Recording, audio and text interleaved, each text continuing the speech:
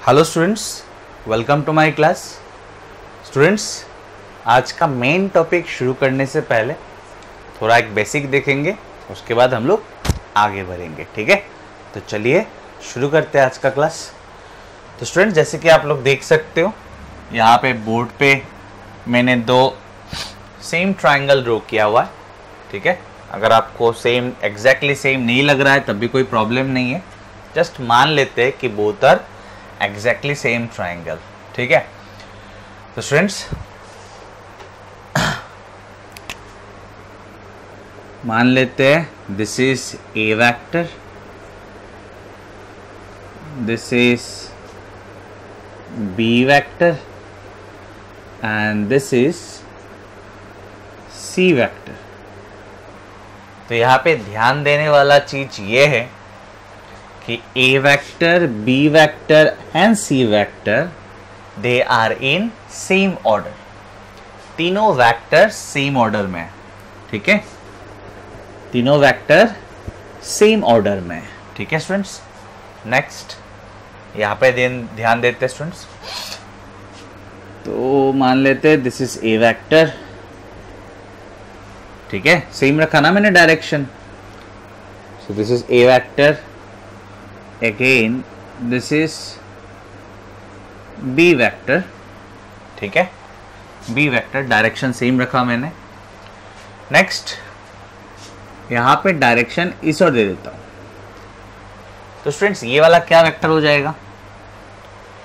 If this is C vector तो ये तो ऑपोजिट है। वैसे, इन दोनों वेक्टर का इन दोनों वेक्टर का मैग्नीट्यूड सेम है। क्योंकि मैंने पहले ही बोल दिया कि बोथ आर सेम ट्राइंगल तो इन दोनों वेक्टर का, ये वाला वेक्टर एंड ये वाला वेक्टर का मैग्नीट्यूड सेम है। बट वेरी क्लियरली आप लोग देख सकते हो कि या ये वाला वेक्टर और ये वाला वेक्टर का डायरेक्शन ऑपोजिट है। तो स्टूडेंट्स अगर आप इसको सी वेक्टर बोलोगे तो इसको क्या बोलोगे? तो आप लोगों ने आंसर कर दिया होगा स्टूडेंट्स इसको आप बोलोगे negative of C vector yes और नो यस ठीक है ना? अगर ये सी वैक्टर है तो ये वाला क्या है? नेगेटिव ऑफ़ सी वैक्टर कोई प्रॉब्लम स्टूडेंट्स नो अगर आप अभी इस ट्राइंगल पे अगर आप अभी इस ट्राइंगल पे triangle law vector addition apply करेंगे triangle law of vector addition तो स्टूडेंट्स आप देख सकते हो कि this and this this two vectors are in the same order yes this two vectors are in the same order and this is the vector which is in the opposite order right तो students हम लोग लिख सकते हैं A vector plus B vector that is the two vectors which are in the same order is equal to is equal to this vector which is in the opposite order. So, minus c vector. कोई problem no no then यहाँ से आप लिख सकते हो तो मैं यहाँ पे लिख लेता हूँ और माइनस सी वेक्टर उधर आ जाएगा so A vector plus B vector plus C vector equals to zero ठीक स्टूडेंट्स और अगर आपको नेगेटिव ऑफ़ सी वेक्टर नहीं देखना है, सिर्फ़ सी वेक्टर को देखना है तो आप यहाँ पे देखिए। तो स्टूडेंट्स क्या दिख रहा है आपको? A vector plus B vector plus C vector equals to zero या इसको आप कैसे बोल सकते हो? Resultant of A vector B vector and C vector is zero और vector addition of A vector B vector and C vector is zero या composition of A vector B vector and C vector is zero तो यहाँ से आपको क्या सीखने को मिला? या यहाँ से आपको क्या याद रखना है? तो students if in any triangle if in any triangle तीन साइड तीन वैक्टर्स को रिप्रेजेंट करता है। Both in terms of magnitude and direction if in a triangle three sides represents three vectors both in terms of magnitude and direction and सबसे important cheese the three vectors are in the same order the three vectors are in the same order दिख रहा है कि नहीं? The three vectors are in the same order then their resultant is zero. Then their resultant is zero. और their vector addition is zero. किसके लिए बोला मैंने स्टूडेंट्स वेक्टर्स किसके लिए बोला? वेक्टर्स इसका मतलब आपको याद रखना है कि वेक्टर्स के जगह पे फोर्स हो सकता है मोमेंटम हो सकता है, दूसरा वेक्टर्स भी हो सकता है। ठीक है स्टूडेंट्स तो आपको याद रखना है in a triangle in a triangle अगर तीन साइड तीन वेक्टर्स को रिप्रेजेंट करता है, और तीनों वेक्टर का ऑर्डर सेम ऑर्डर में रहता है then their resultant is zero clear students समझ में आया होगा? आगे बढ़ते हैं। स्टूडेंट्स अभी हम लोग देखेंगे equilibrium of concurrent forces equilibrium of concurrent forces तो सबसे पहले ये समझना ज़रूरी है कि कॉन्करेंट फोर्सेस किसको कहते हैं? तो स्टूडेंट्स किसी भी बॉडी में, किसी भी बॉडी में मान लेते हैं दो फोर्स या उससे ज़्यादा फोर्स एक्ट हो रहा है, ठीक है? दो फोर्स या उससे ज़्यादा फोर्स एक्ट हो रहा है। लेकिन हर एक फोर्स एक ही पॉइंट में एक्ट हो रहा है। हर एक फोर्स एक ही पॉइंट पे एक्ट हो रहा है। ठीक है? जैसे कि दिस इज़ अ बॉडी ठीक है? आप देख सकते हो कि इस बॉडी पे तीन फोर्सेस एक्ट कर रहा है। F1 vector F2 vector and F3 vector लेकिन तीनों फोर्स एक ही पॉइंट पे एक्ट हो रहा है।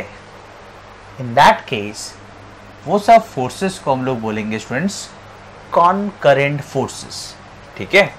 तो एक बार स्टेटमेंट देख लेते हैं। फोर्सेस एक्टिंग फोर्सेस एक्टिंग यहाँ पे लैंग्वेज में मिसिंग है। Forces acting at the forces acting at the same point on a body forces acting at the same point on a body are called concurrent forces. ठीक है students दो force या दो से ज़्यादा फोर्स तीन हो सकता है, चार हो सकता है, पचास हो सकता है। ठीक है? अगर एक बॉडी के एक ही पॉइंट पे एक्ट करता है तो वो फोर्सेस को हम लोग बोलेंगे concurrent forces clear students next आगे बढ़ते हैं। इक्विलिब्रियम ऑफ़ कॉन्करेंट फोर्सेस का मतलब क्या है? इक्विलिब्रियम ऑफ़ कॉन्करेंट फोर्सेस का मतलब क्या है? तो so, ध्यान से सुनना स्टूडेंट्स तो जैसे कि आप देख सकते हो इस बॉडी पे तीन फोर्स एक्ट कर रहा है और एक ही पॉइंट पे एक्ट कर रहा है। स्टूडेंट्स अगर इन कॉन्करेंट फोर्सेस का रिजल्टेंट ज़ीरो हुआ ध्यान से सुनना है। अगर इन कॉन्करेंट फोर्सेस का रिजल्टेंट ज़ीरो हुआ मतलब आप ऐसे लिख सकते हो। F1 vector plus F two vector plus F three vector equals to zero अगर इन कॉन्करेंट फोर्सेस का रिजल्टेंट ज़ीरो हुआ तो स्टूडेंट्स वो बॉडी अगर रेस्ट स्टेट पे था तो वो रेस्ट स्टेट पे रहेगा। और अगर और अगर यूनिफॉर्म मोशन पे था इन ए स्ट्रेट लाइन तो वो यूनिफॉर्म मोशन पे ही रहेगा in the same straight line. This is basically Newton's first law only ठीक है? तो यहाँ पे क्या बोला मैं और एक बार बोल देता स्टूडेंट ध्यान से सुनना। है एक बॉडी जिसपे क्या फोर्स एक्ट हो रहा है, क्या फोर्सेस एक्ट हो रहा है? कॉन्करेंट फोर्सेस मतलब जितना भी फोर्सेस है, उस बॉडी के एक ही पॉइंट पे एक्ट हो रहा है। Now if the resultant force is zero तीन एक्ट तीन फोर्स एक्ट हो रहा है, चार फोर्स एक्ट हो रहा है five number of forces act हो रहा है ten number of forces act हो रहा है. And all of them are concurrent forces.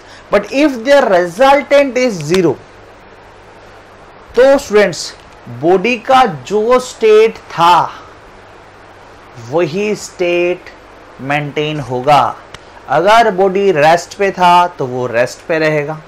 और अगर बॉडी मोशन पे था, यूनिफॉर्म मोशन पे था इन ए स्ट्रेट लाइन तो वो यूनिफॉर्म मोशन पे ही रहेगा in the same straight line if the resultant of the concurrent forces is zero उसी को हम लोग कहते हैं इक्विलिब्रियम ऑफ़ कॉन्करेंट फोर्सेस हम लोग तब बोलेंगे कि बॉडी इक्विलिब्रियम पे है। क्लियर स्टूडेंट्स तो एक बार लैंग्वेज देख लेते हैं। सुनना है धीरे धीरे सुनना है। When a number of forces acting on a body at the same point when a number of forces act on a body at the same point मतलब concurrent forces का बात चल रहा है and the resultant force is zero and the resultant force is zero the body the body will continue in its state of rest or of uniform motion along a straight line और तब हम लोग बोलेंगे and is said to be in equilibrium clear students clear बहुत simple था ठीक है ना स्टूडेंट्स नेक्स्ट हम लोग देखेंगे लैमिस थ्योरम लैमिस थ्योरम लेकिन लेमिस थ्योरम समझने के लिए मैथमेटिक्स का एक लॉ पता होना चाहिए। आप लोग को शायद पता होगा, अगर नहीं पता तो एक बार देख लीजिए। It is law of sine ठीक है? लॉ ऑफ़ साइन तो क्या कहता है लॉ ऑफ़ साइन वो हम लोग को पता होना चाहिए टू अंडरस्टैंड लेमिस थ्योरम तो students first of all law of sine is applicable in all triangles ठीक है? लॉ ऑफ़ साइन हर एक ट्राइंगल के लिए एप्लीकेबल है। तो स्टूडेंट्स आप देख सकते हो this is a triangle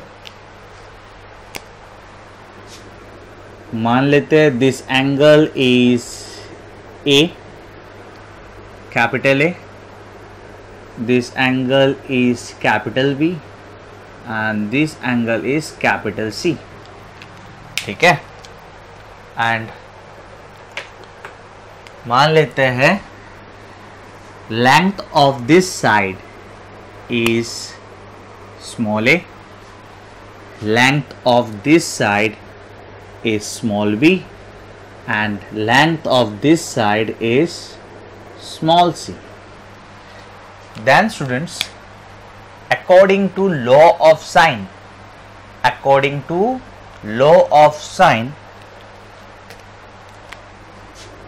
ratio of length ratio of length of any side of a triangle to that of sine of opposite angle side का जो opposite angle है sine of that angle is equal for all sides and for is equal for all sides and its opposite angles मतलब समझ में आ जाएगा, tension लेने का कोई बात नहीं है। किसी भी साइड का जो लेंथ है, उसका एंड उसके ऑपोजिट एंगल का साइन ऑफ़ दैट एंगल का ratio side by sine of opposite angle side का ऑपोजिट एंगल का साइन ये इक्वल होता है हर एक साइड से उसके ऑपोजिट एंगल्स के लिए। मतलब it is equals to b by sine of opposite angle equals to again c by sine of opposite angle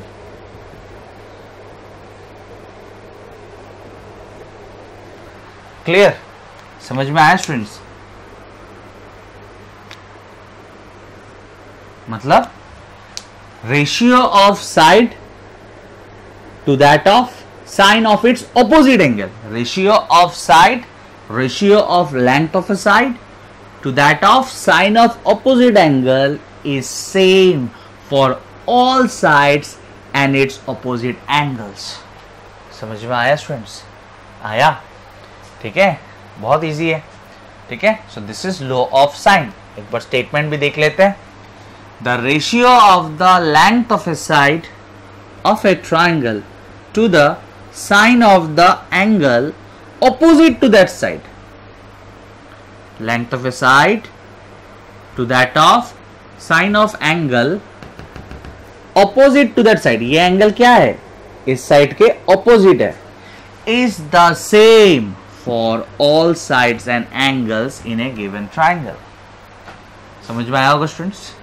यहां पे भी देखिए बी इस लेंथ इस साइड का लेंथ और divided by sine of sine of इस साइड के ऑपोजिट एंगल समझ में आया होगा? Similarly is equal to C इस साइड का length divided by sine of इस साइड का ऑपोजिट एंगल ठीक है?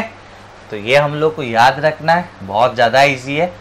तो हम लोग को लेमिस थ्योरम क्लियरली समझ में आ जाएगा। ठीक है स्टूडेंट्स स्टूडेंट्स अभी हम लोग लेमिस थ्योरम देखेंगे।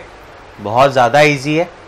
आपको बहुत इजीली समझ में आ जाएगा। सिर्फ़ थोड़ा कंसंट्रेशन बनाए रखना है। तो स्टूडेंट्स आप यहाँ पे देख सकते हो कि let this be a particle O ठीक है? ये एक पार्टिकल ओ है। या आप ऐसे भी मान सकते हो कि किसी एक बॉडी का ये एक पॉइंट है।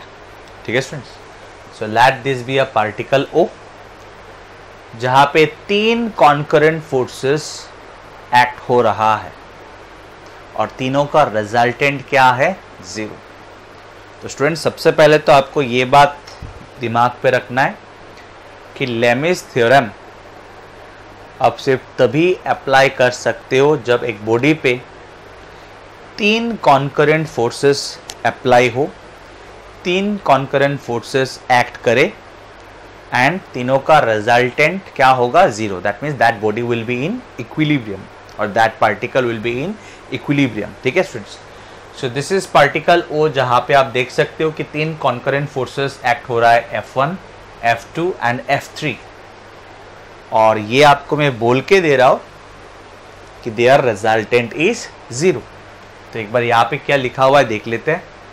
Figure shows a particle O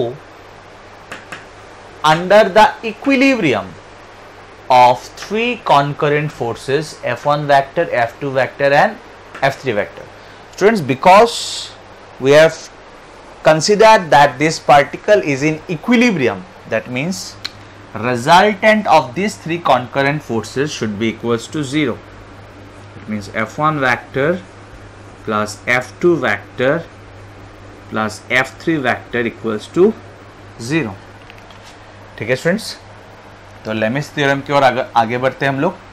तो स्टूडेंट्स मान लेते हैं F two vector and F three vector के बीच में एंगल है alpha clear then F one vector and F three vector के बीच में एंगल है बीटा ठीक है?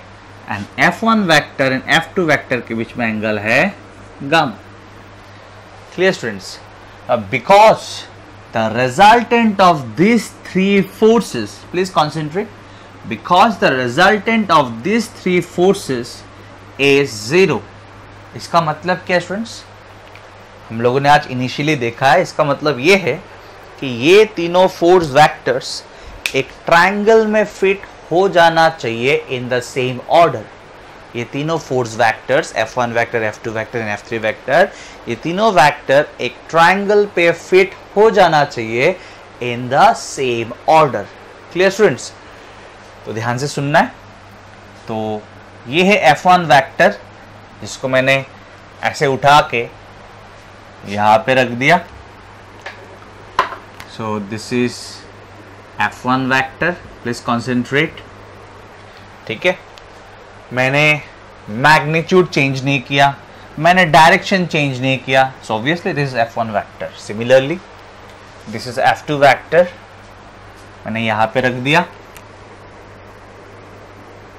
This is f2 vector and this is f3 vector. This is your f3 vector कोई प्रॉब्लम स्टूडेंट्स नो जस्ट मैंने इसको उठाया यहाँ पे रखा। आप देख सकते हो एफ़ वन वैक्टर जैसा यहाँ पे यहाँ पे भी वैसा ही है। ठीक है?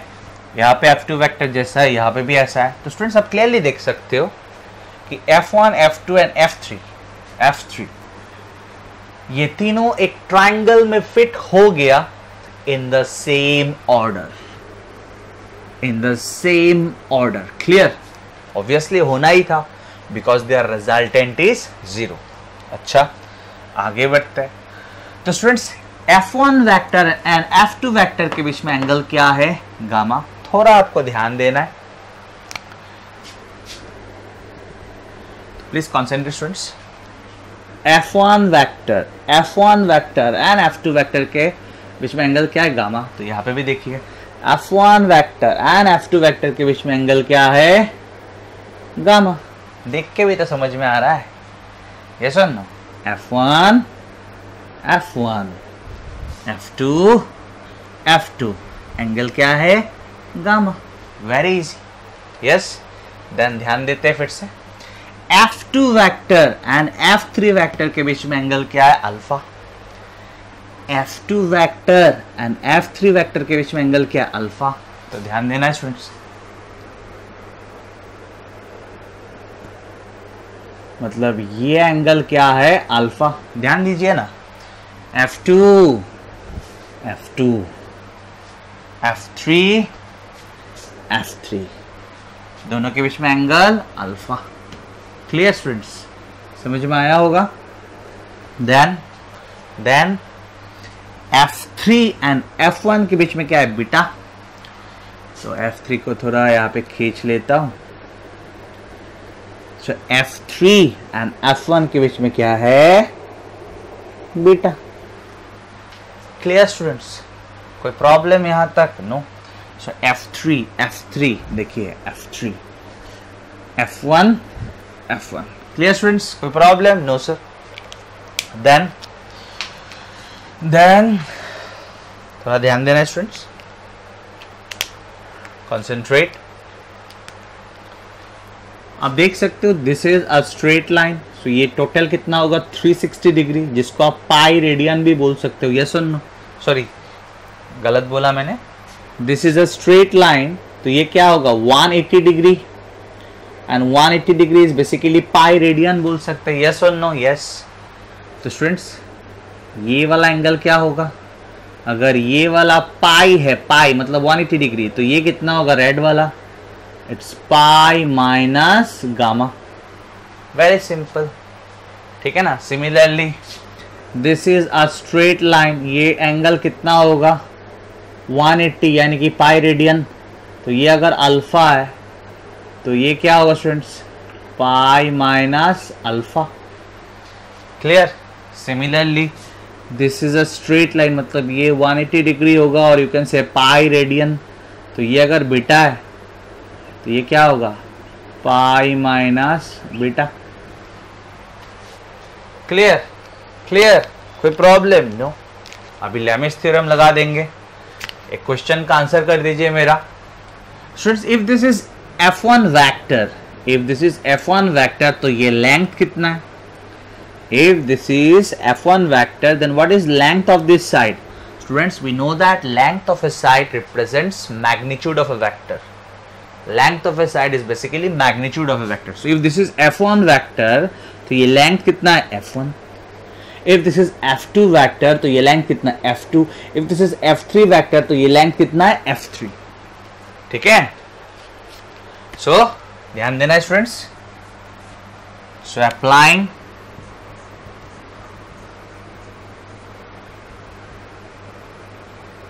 law of sine applying law of sine क्या था law of sine length of a side divided by sine of opposite angle so इसका ऑपोजिट एंगल क्या है? Pi minus alpha so sine of pi minus alpha clear equals to again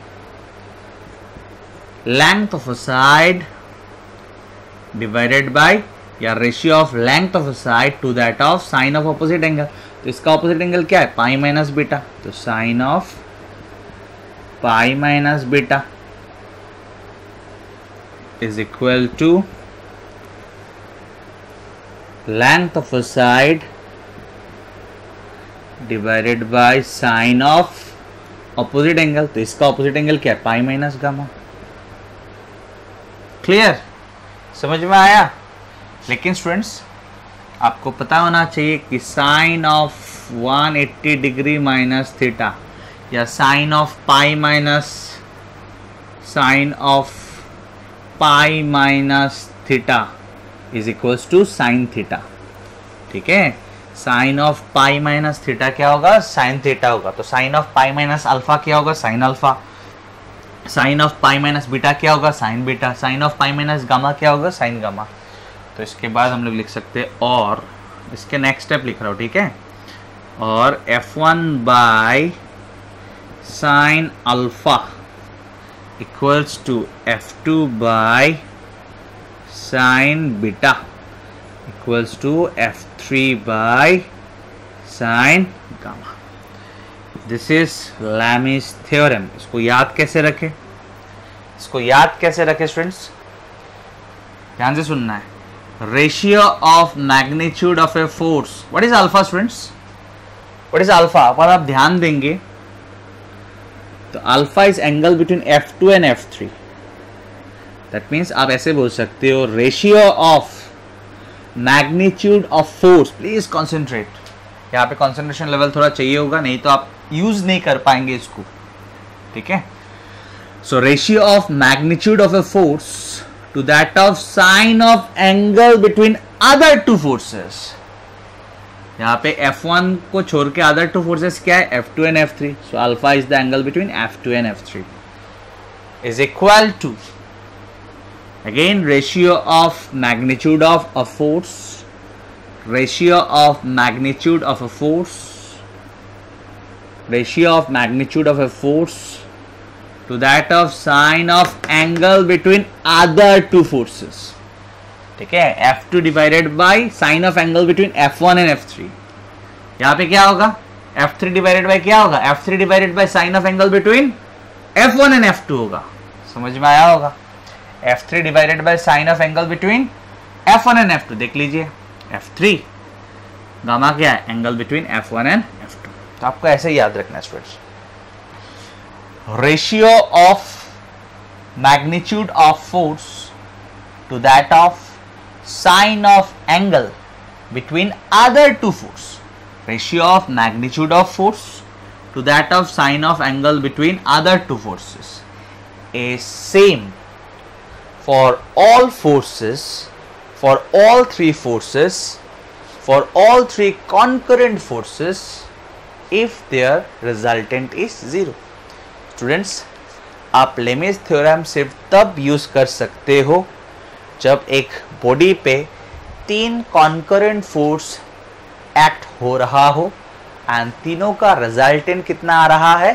Zero clear then only we can think of using Lami's theorem ठीक है students ठीक है? तो क्या याद रखना है?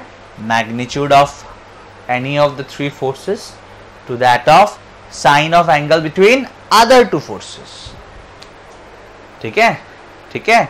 ये हर एक फोर्सेस के लिए इक्वल आता है ये ratio this is Lami's theorem clear समझ में आ गया स्टूडेंट्स स्टूडेंट्स एक एग्जांपल देखते हैं.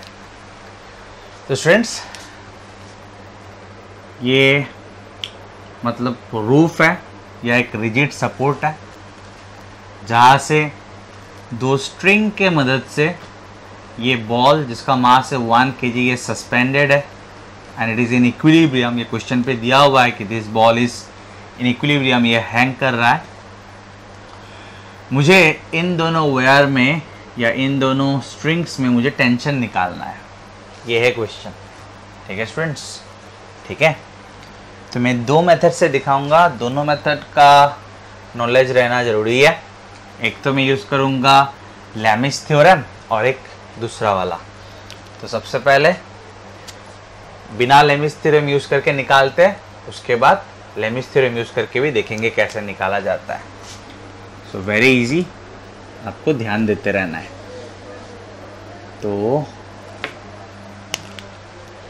फिगर को ना खराब करके यहाँ पे मैं एक अलग से फिगर ड्रॉ कर रहा हूँ।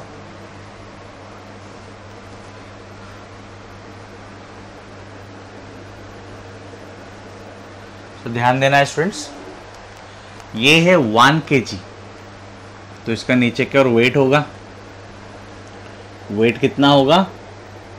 वन जी एम जी होता है ना वेट सो वन के जी का weight one g. Then this angle is given 30 degree and this angle is given 60 degree, right? Then students, इस रूप में away from the body body पे टेंशन लगेगा, मान लेते टी वन और इस रूप की और मतलब बॉडी पे इस ओर टेंशन लगेगा टी टू ठीक है स्टूडेंट्स ठीक है? टेंशन का कॉन्सेप्ट मैंने करवा दिया था। तो थोड़ा, इसको थोड़ा और अच्छी तरह से ड्रॉ करते हैं। यहाँ पे दे देते हैं। फिगर पे थोड़ा ध्यान देना है, ठीक है students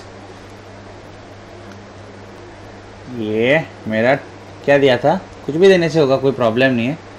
This is my T one and let this be T two ठीक है स्टूडेंट्स ध्यान देते रहना है। इजी है। Concentrate students obviously if this angle is 60 then this angle is 60 yes? तो इधर कंपोनेंट क्या होगा? T1 को ब्रेक कर रहा हूँ ठीक है? T1 को मैं ब्रेक कर रहा हूँ। सो so, T1 इधर क्या आएगा? T1 cos 60 ठीक है?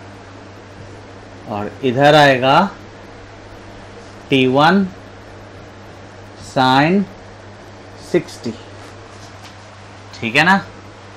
ठीक है? तो ईश्वर का जो टेंशन था, जो बॉडी पे लग रहा है अवे फ्रॉम द बॉडी उसको मैंने ब्रेक कर दिया। इधर T one cos sixty and इधर T one sine sixty similarly T two को भी ब्रेक कर देता हूँ। टी टू ईश्वर है ना स्टूडेंट्स तो टी टू को भी ब्रेक कर देता हूँ। इधर होगा ये अगर 30 है तो इधर क्या है? ये वाला एंगल क्या है? 30 if this angle is 30 then this angle is 30 ठीक है? तो इधर है T2 तो इधर क्या होगा स्टूडेंट्स कंपोनेंट T2 cos 30 और इधर क्या आएगा? T2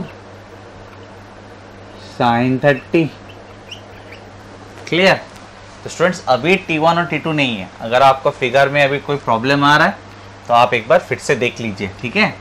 तो इधर था टी वन उसको ब्रेक करके इधर T one cos sixty T one sine sixty और इधर था टी टू उसको ब्रेक करके T two cos thirty T two sine thirty ठीक है ना स्टूडेंट्स नेक्स्ट ये तो ये जो बॉल है जिसका मास है one K G it is in equilibrium it is in equilibrium मतलब अगर आप इस डायरेक्शन में देखेंगे तो नेट फोर्स ज़ीरो इस डायरेक्शन में देखेंगे तब भी net force zero along horizontal direction net force is zero along vertical direction also it is net force is zero yes तो ध्यान देते रहना है students so along horizontal direction along horizontal direction net force is zero ठीक है ना यहाँ पे आप लिख सकते हो since the ball is in equilibrium along horizontal direction, net force तो ज़ीरो है। तो along horizontal direction, net force zero इसका मतलब क्या? राइट right डायरेक्शन का फोर्स एंड लेफ़्ट डायरेक्शन का फोर्स इक्वल होना पड़ेगा। राइट डायरेक्शन का फोर्स एंड लेफ़्ट डायरेक्शन का फोर्स इक्वल होना पड़ेगा। यस और no yes that means T two cos thirty जो लेफ़्ट डायरेक्शन में है must be equals to T one cos 60 कोई प्रॉब्लम स्टूडेंट्स कोई problem no similarly along vertical direction along vertical direction upward force must be equal to downward force yes or no yes so t1 sine 60 must be equals to T two sorry upward force upward force क्या है? T one sine sixty and T two sine thirty both are along the upward direction so T one sine sixty plus T two sine thirty add हो गया because both are along the upward direction so upward force must be equal to downward force नीचे क्या है? सिर्फ़ one जी one जी मतलब ten clear ना? Clear तो ध्यान देना students so implies T one sin 60 कितना होता है students root three by two clear plus T two sine thirty क्या होता है? Half one g one g मतलब g is ten g ten ले लेंगे. तो one multiplied by ten it is ten clear clear next यहाँ से. यहाँ से थोड़ा सिंप्लीफाई करके रखने से अच्छा रहता। T two T two cos thirty मतलब students root three by two and T one cos sixty मतलब? हाफ़ ठीक है ना? ठीक है? तो यहाँ पे हम लोग क्या करेंगे? ध्यान देना है, ध्यान देना है। सो इम्प्लाइज ये तो टू टू कैंसिल हो गया। तो टी वन इक्वल्स टू क्या आया root three T two T one क्या है? रूट थ्री टी टू है. यस और नो टी वन क्या है? रूट थ्री टी टू तो let this be equation one and let this be equation two ठीक है? तो using equation one in equation two using equation one आप लोग लैंग्वेज लिख लीजिए हाँ? Using equation one in equation two तो मैं टी वन इक्वल्स टू क्या है? रूट थ्री टी टू तो टी वन की जगह पे ये बिठाऊँगा अभी मैं। ठीक है? तो टी वन की जगह पे बिठाऊँगा रूट थ्री टी टू ठीक है? यहाँ पे root three multiple root three divided by two है। ठीक है? Plus T two equals to ध्यान से सुनना है स्टूडेंट्स तो यहाँ पे दोनों में हाफ़ था। तो मैंने हाफ़ को कॉमन लिया और उधर लेके चले गए। तो टू जाके टेन के साथ मल्टीप्लाई हो गया ट्वेंटी ठीक है? ठीक है? यहाँ पे root three multiplied by root three ये समझ में आया होगा ना? ऑब्वियसली समझ में आया। टी वन के जगह पे हम लोगों ने बिठाया रूट थ्री टी टू ठीक है? तो यहाँ पे root three multiplied by root three है थ्री तो three T two plus T two it is four T two तो टी टू क्या आया? Twenty by four is five newton T two आया फाइव न्यूटन अभी टी टू आप यहाँ पे बिठा दीजिए। टी वन इक्वल्स टू क्या है? रूट थ्री टी टू है ना? टू टू तो कैंसिल था। T one equals to root three T two therefore T one equals to root three T two which is equals to root 3 t2 t2 is 5 that means this 5 root 3 newton तो T1 और T2 दोनों हम लोगों ने निकाला। ठीक है students समझ में आया होगा?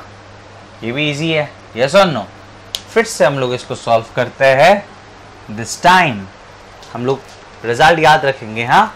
T1 क्या आया था? टी वन आया था five root three newton and T two five newton ठीक है ना? और हम लोगों ने टी टू लिया था इसमें। इसका टेंशन लिया था टी टू और इसमें टेंशन लिया था टी वन अच्छा। तो स्टूडेंट्स क्या बोल रहा था मैं? फिर से हम लोग इस क्वेश्चन को सॉल्व करेंगे but this time by using yes by using Lami's theorem by using Lami's theorem ठीक है स्टूडेंट्स देखते हैं सेम आंसर आता है कि नहीं? ऑब्वियसली सेम आंसर आना चाहिए।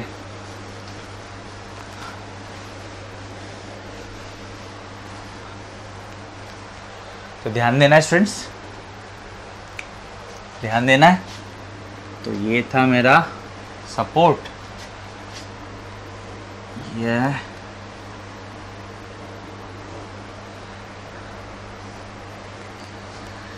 ध्यान देते रहना स्टूडेंट्स नीचे क्या है? One g.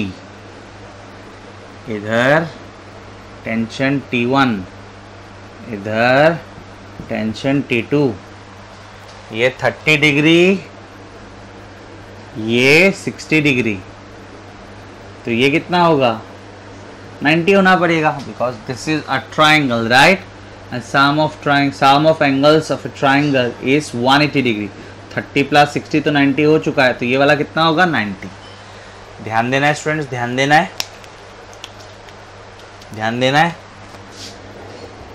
अगर ये 60 है तो ये कितना होगा? 60 प्लीज़ कॉन्सेंट्रेट अगर ये 60 है तो ये वाला कितना होगा? 60 और ये कितना है? 90 ये कितना है? 90 दैट मीन्स ये टोटल एंगल कितना है? टोटल एंगल कितना है? 90 plus sixty this one fifty degree right कोई प्रॉब्लम नो देखिए इधर पे देखिए इधर पे कंसंट्रेट कीजिए।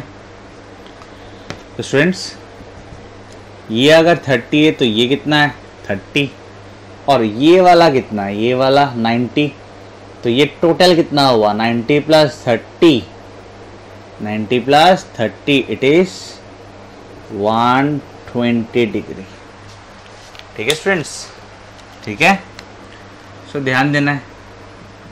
तो बेसिकली इस बॉल पे या इस बॉडी पे या इस पार्टिकल पे ये वाला कितना फोर्स एक्ट हो रहा है?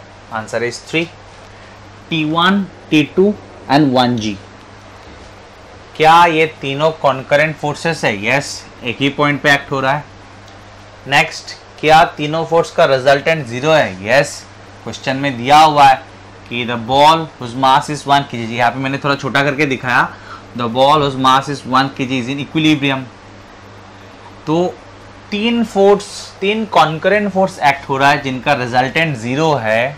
The ball is in equilibrium तो can we use Lami's theorem yes why not तो यूज़ करते हैं स्टूडेंट्स क्या था Lami's theorem force divided by force का magnitude divided by sine of angle between other two forces तो मैंने लिया T one divided by sine of angle between क्या होगा? अदर टू फोर्सेस यानी कि T two and one g के बीच का एंगल समझ में आया होगा ना? Force divided by sine of angle between other two forces तो T one divided by sine of angle between किसके बीच का होगा? T two and one g के बीच का angle T two and one g के बीच का एंगल क्या है? One twenty so T one divided by sine of 120 degree equals to T2 divided by, so T2 divided by sine of angle between क्या होगा? T1 and 1G so T1 and 1G के बीच में angle क्या है? 150 so divided by sine of 150 degree equals to तीसरा force क्या है? 1G तो 1G मतलब 10 1 multiplied by 10 is 10 divided by sine of angle between क्या होगा? T1 and T2 other two forces क्या है? वन जी छोड़ के अदर टू फोर्सेस क्या है? T one and T two और इन दोनों के बीच में एंगल क्या है? 90 तो divided by sine of 90 degree clear students implies implies लिखने की ज़रूरत नहीं है। साइन ऑफ़ 120 को आप लिख सकते हो, sine of 180 degree minus 60 degree 180 minus 60 is 120 only पता है सर ये सब चीज़। सो साइन ऑफ़ 150 150 को आप लिख सकते हो 180 degree minus 30 degree. Clear and sine 90 is 1 so it is basically equals to 10 so 10 by 1 is 10 implies, या फिर से t1 by student sin of 180 minus theta होता है साइन थीटा ठीक है? तो sin of 180 minus 60 क्या होगा? साइन 60 ठीक है? Sine of 180 eighty minus theta कितना? साइन थीटा तो sine of 180 eighty minus thirty क्या होगा? Sine thirty equals to ten तो स्टूडेंट्स यहाँ से क्लियरली आपको T1 मिल जाएगा। T1 क्या होगा? So T1 by sine sixty equals to ten आप देख सकते हो। T1 one by sine sixty equals to ten तो T1 क्या होगा? Ten multiplied by sine sixty and we know that sine 60 is sine 60 degree is root 3 by 2 so, it is equals to 5 root 3 newton. क्या T1 5 root 3 Newton था पहले भी? Yes yes. तो correct आया मेरा यस एंड टी टू क्या होगा so T two by sine thirty is ten T two by sine thirty is ten so T two क्या होगा ten multiplied by sine thirty So T2 equals to 10 multiplied by sine 30. We know that sine 30 degree is half. So, it is 5 Newton. Clear, students? समझ में आया आप लोगों को ठीक है तो आप देख सकते हो, ये इस टाइप का क्वेश्चन आप दो मेथड से सॉल्व कर सकते हो। आपको जो ठीक लगे, जो मेथड आपको ज़्यादा पसंद हो, आप ज़्यादा जल्दी सॉल्व कर पाओ, वो मेथड यूज़ कर सकते हो। ठीक है, मैंने आप लोगों को एक्सप्लेन किया, इसलिए मुझे थोड़ा टाइम लगा, नहीं तो ये बहुत फास्ट हो जाता है। आप लोग प्रैक्टिस करोगे तो ऑब्वियसली आप बहुत बहुत बहुत फास्ट ये सब क्वेश्चन सॉल्व कर पाओगे। समझ में आया होगा ना स्टूडेंट्स स्टूडेंट्स ये और एक एग्ज़ाम्पल है। ये आप लोग खुद भी कर सकते हो ऑब्वियसली तो मैं चाहूँगा कि आप लोग वीडियो को पॉज करें और उसको खुद ट्राई करें, उसके बाद आंसर मैच करते हैं। तो स्टूडेंट्स अभी मैं सॉल्व करता हूँ। सो सेम ही क्वेश्चन है, लगभग tension in the two string मतलब ये वाला एक स्ट्रिंग है और ये वाला एक स्ट्रिंग है। मुझे उन दोनों में टेंशन निकालना है, ठीक है? और obviously four k g ball is in equilibrium ठीक है स्टूडेंट्स तो इसमें इस फोर के जी का बॉल पे टेंशन इस ओर लगेगा। Away from the body T one ले लेते हैं। और इसमें भी अवे फ्रॉम द बॉडी लगेगा टी टू ठीक है ना? और नीचे इसका वेट होगा विच इज़ फोर के जी फोर के जी का वेट क्या होगा? फोर जी ना? क्लियर ध्यान देना है स्टूडेंट्स इस बार हम लोग मतलब ये जो फोर्स है टी वन टेंशन ये हॉराइजेंटल में नहीं है और वर्टिकल भी नहीं है तो इसको ब्रेक करके हम लोग हॉराइजेंटल और वर्टिकल में लेके आ जाते हैं, ठीक है स्टूडेंट्स तो if this angle is 60 then this angle is also 60 clear ना? तो ये है मेरा T1 मान लेते हैं। ठीक है? दिख रहा है ना स्टूडेंट्स ऑब्वियसली दिख रहा है। तो T1 को ब्रेक कर देंगे। इधर टी वन है तो इधर क्या होगा? टी वन कॉस सिक्सटी जिस साइड के साथ एंगल उधर कॉस और इस और क्या होगा? ठीक परपेंडिकुलर डायरेक्शन में इधर क्या होगा? T one sine sixty right clear कोई प्रॉब्लम तो स्टूडेंट्स अभी T1 वन फोर्स और नहीं है, क्योंकि उसको ब्रेक करके मैंने T1 one cos sixteen T one sine sixty कर दिया। ठीक है ना? तो since the particle is in equilibrium since the particle is in equilibrium obviously upward force must be equal to downward force upward force must be equal to downward force होगा, क्योंकि along vertical direction net force zero होना पड़ेगा और net force zero तब होगा जब upward force और downward force equal होगा। So T one sine sixty degree that is upward force must be equals to downward force which is weight of the body so implies T one क्या होगा? Four multiplied by g g यानी कि ten forty divided by sine sixty sine sixty कितना students root 3 by 2 so, it is equals two basically 80 by root 3 newton ठीक है? अभी along horizontal direction देखते हैं. Obviously this body is in equilibrium so horizontal direction में भी net force zero होना चाहिए. दैट मीन्स राइट डायरेक्शन का फोर्स एंड लेफ़्ट डायरेक्शन का फोर्स मस्ट बी इक्वल ठीक है ना? सो टी वन निकालना क्या है? टी टू ना? अच्छा तो टी टू को लेफ़्ट में रख देता हूँ। सो लेफ़्ट डायरेक्शन का force must be equals to right direction का फोर्स करेक्ट कोई problem no so implies T two equals to T one हम लोग निकाल चुके हैं। It's eighty by root three